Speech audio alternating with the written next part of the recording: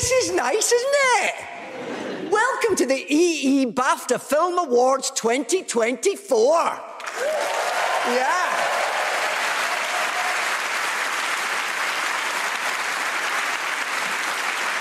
A great big bungie this is. You all look amazing in your tuxedos and your fancy dresses. It's like the opening scenes of Saltburn. Let's hope it doesn't end up like the closing scenes in Saltburn.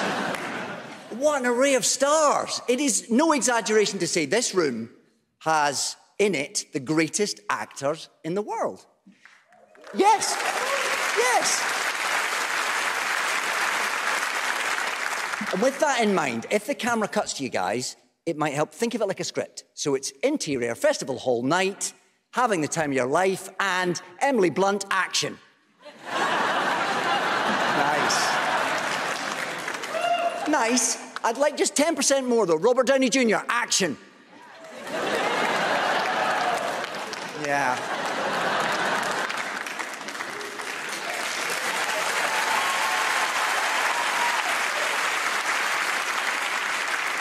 Come on, Andy Serkis, show them how it's done.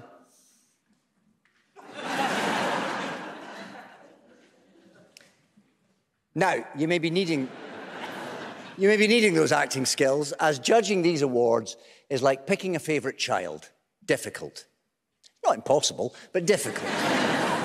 so if you don't win, feel free to cry, but remember, your parents are watching and they never love you as much as your brother who went off and got a proper job.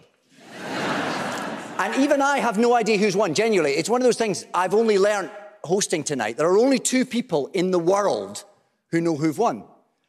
I mean, let's hope one of them's the engraver. I always thought like the seat planner would know and you, they'd put winners at the front or the end of an aisle. No, they've got hidden cameras. They can pick you up anywhere. So if you've got to scramble and climb over Cate Blanchett to get your hands on an award, that is what you do. it's a metaphor for the acting industry generally.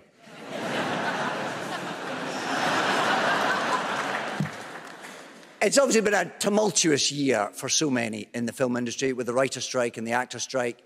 But I've been chatting to BAFTA and asking is the future for screenwriters and actors looking rosy? And I can tell you, they say aye. Although they, they do spell that AI, so I don't. this is it's a quirk. It is, of course, traditional at this point for the host to make these introductory remarks, but as we're all friends, I thought let's give these extraordinary filmmakers what they want. So this monologue is over three and a half hours long. but of course, when I say long, I mean epic. Tonight's list of nominated films, it's amazing though, isn't it? Poor Things. Poor Things, ladies and gentlemen, yes.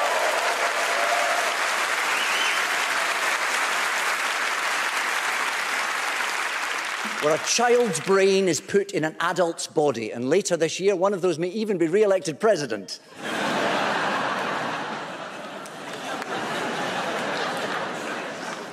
Anatomy of a Fall was amazing. Yes.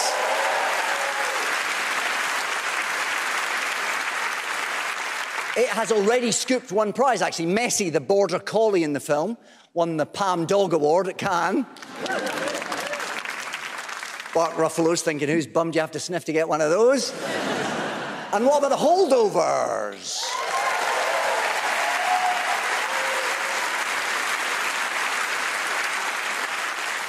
A film about a young man left behind at school over the Christmas holidays, hemmed in by snow and ice.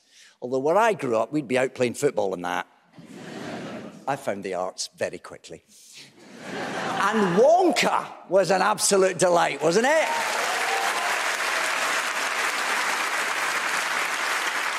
A film all about chocolate. I think Wonka gave us all a boost and a Twix and a Crunchie and an Aero. Thank you very much. You might need to explain that to some of our American friends. But it's, a, it's about the names of chocolate bars, like Hershey's, but they taste nicer. Oppenheimer was incredible.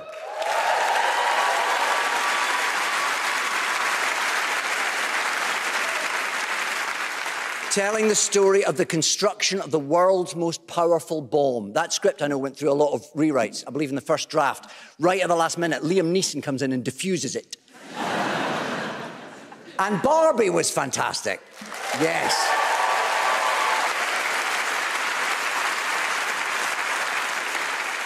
I keep thinking about poor, maligned Ken, so superbly brought to life by Ryan Gosling. It, yes. In the course of that film, Ken becomes a progressive, a champion of the marginalised, a voice for the oppressed. And if you squint at the end credits, you'll even see Ken's surname is actually Loach.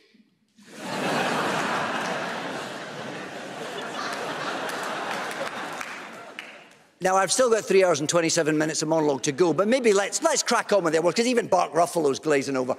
Let's get this show on the road, shall we?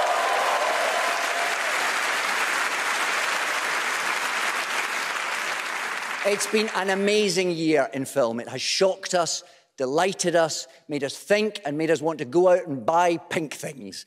Let's have a look back. A truly great year for film. Right, let's give out some BAFTAs. First up is original screenplay. It is said there are only seven basic plots, but the writers of the films nominated in this category managed to find five more great ones.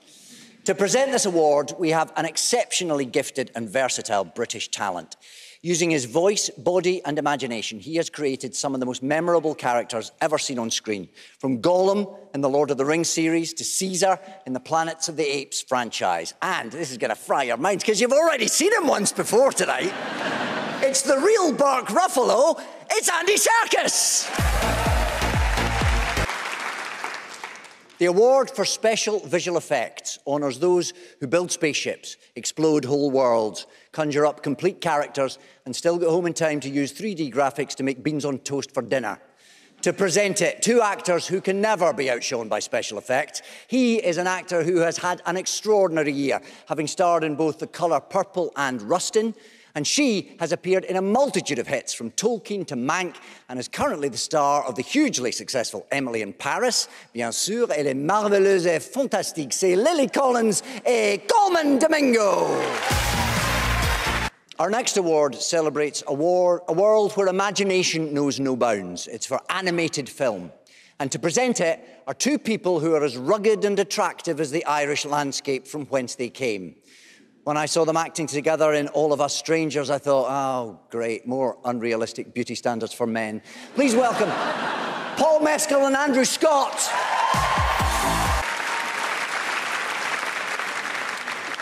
There's a lot of very exciting people in this room today. I'm very thrilled to be here. Carey Mulligan, ladies and gentlemen. Hi, Carey.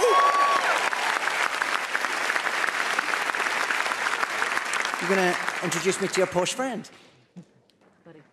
Hi, Bradley. Hi, David. Nice to meet you. Hi. Looking good. You too. Yeah. All right, chill out, Bradley. Chill out. Sit down.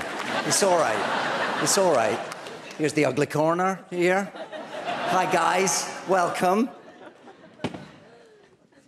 Now, one of the most memorable films from the year was Saltburn. What can I say about Saltburn? Not very much because we're pre watershed. Here's Rosamund. Hello, Rosamund. You were in it. Yeah, I'm not pre watershed. No. Uh, well, what can we say about it? There were some people in a house. They were good at keeping clean. One does a dance at the end while his clothes are in the wash. um, but the song he danced to was, of course, Murder on the Dance Floor. That's correct. By the wonderful Sophie Ellis Bextor. Exactly. And that very, that very song has become, and that very song and that very scene have become a viral sensation an incredible 22 years after the song was originally released. It shot back into the top 10, and the hashtag on TikTok, so young people tell me, has had more than 200 million views. I know. So we couldn't pass up the opportunity to bring you a very special performance. Please welcome, singing Murder on the Dance Floor, it's the brilliant Sophie Ellis Bextor! Right, back to the awards. BAFTA's mission is to inspire, support and celebrate emerging talent. And the next category, Outstanding Debut by a British writer, director or producer, awarded in honour of Carl Foreman, does just that. Each year, BAFTA supports thousands of people to realise their potential through bursaries, scholarships and career development programmes, including last year's outstanding debut winner, former BAFTA scholar Charlotte Wells. To present this category tonight, we have invited a plucky young talent from the world of sport. It's early days, but we're all watching him. He shows a lot of promise. Please welcome star of the docu-series Beckham, it's David Beckham. Another BAFTA you cry. Well, we don't mind if we do. To present the award for adapted screenplay, two true originals. The star of Argylle, Bryce Dallas Howard, and joining her, the man who played the title character in Bob Marley One Love, Kingsley Ben-Adir. Time for Time for supporting actress. And to present it, we have a past BAFTA winner. He is the writer, star, and director of the upcoming film Rob Peace. Please welcome the ridiculously talented Chiwetel Ejiofor.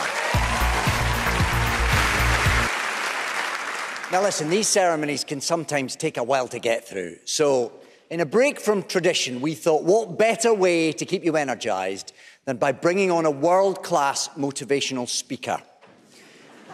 You may recognise him as Nate from Ted Lasso, but before then, he was more widely known as his old school alter ego from Leeds. Everybody, please give it up for Mr. Swallow. We now come to an award given in honour of Michael Balcon, the outstanding British contribution to cinema. recognises people and organisations that have made enormous contributions to our cinematic world. Past winners include Andy Serkis, the Harry Potter film series, Tessa Ross, and Derek Jarman.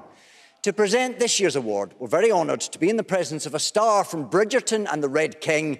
It's the amazing Adjoa Andoh. Over the last year, we've sadly lost many friends and colleagues from the film industry. We'd now like to take a moment to pay tribute to them. Here, with a special arrangement by Joe Stilgoe, performing Time After Time, please welcome the incomparable Hannah Waddingham. We also remember executive and producer Ileen Maisel, who we sadly lost on Friday. They will all be missed.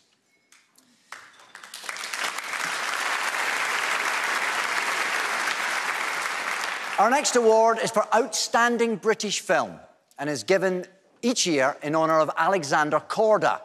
This year's nominees are a shining example of the diversity and strength of British cinema. Ten wildly different films Yet they do have one thing in common they're all the best of British. To present it, she is a global pop star, a fashion icon, winner of six Brit Awards and three Grammys. I cannot believe I'm about to say these words, but I am. What a fabulous chance to make my children jealous. Please welcome the one and only Dua Lipa! It's time to celebrate the big boss on set, the gaffer, the visionary, I am, of course, talking about directors, and this BAFTA is awarded in honour of David Lean. To present it, someone we had to smuggle into the Royal Festival Hall in a security van because, quite frankly, he is that much of a national treasure. We have loved him for, would you believe, 30 years since four weddings and a funeral. You adored him in Bridget Jones' Diary. He's been brilliant this year in Wonka. Please welcome Hugh Grant. We now have the BAFTA Fellowship, which recognises a truly enormous contribution to the film industry. Some of the greats who've already been honoured with this include Alfred Hitchcock, Helen Mirren, Ang Lee, and Ridley Scott. To present this year's award, please welcome a titan of British film. He's the producer of Gravity, Marriage Story, and Once Upon a Time in Hollywood. Plus, he's behind a tiny little franchise called Harry Potter. And in the past 12 months alone, he's produced Barbie and Wonka, not a bad year, really, for David Heyman. What's that I hear you cry? You, the British public, would like to give out an award voted for by you, the British public? All right, British public, calm down, we'll do it now. I'm thrilled to announce it's time for the EE Rising Star Award, which is given in honour of casting director Mary Selway. The purpose of this award is to shine a light on new talent, fresh talent, emerging talent, usually intimidatingly, annoyingly young talent. it's the only award voted for by the public. Previous recipients include James McAvoy, Michael Ward, and Lashana Lynch. So strong work, British public. To present it, two more winners of this award. Please welcome from the upcoming Hot Milk, Emma Mackey, and from Back to Black, Jack O'Connell. Three awards to go, people. We're moving into the final act.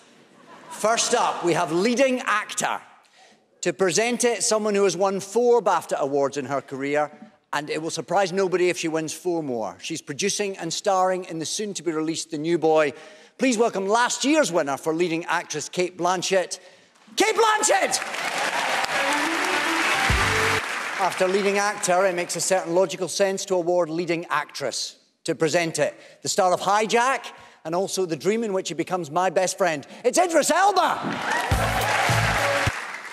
Okay, it's time for Best Film.